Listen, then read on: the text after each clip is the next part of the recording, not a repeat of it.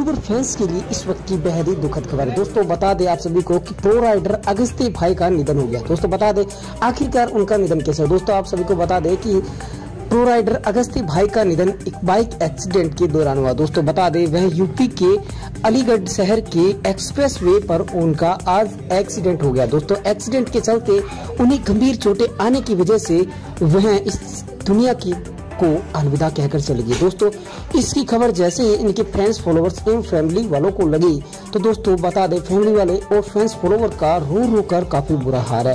दोस्तों, इस खबर को लेकर आप भी कितने शोक स्तब्ध है, मुझे कमेंट बॉक्स में ज़रूर बताएँ। दोस्तों, अगर आप चैनल पर नहीं हो तो चैनल को सब्सक्राइब करके बेलाइकन को प्रेस कर देना, ताकि हर खबर आप तक सबसे पहले पहुँच सके। दोस्तों कॉमेंट बॉक्स में रिक्त श्रद्धांजलि ज़रूर लिखेगा और भगवान इनके फैमिली वालों को हौसला दे। Thank you for watching this video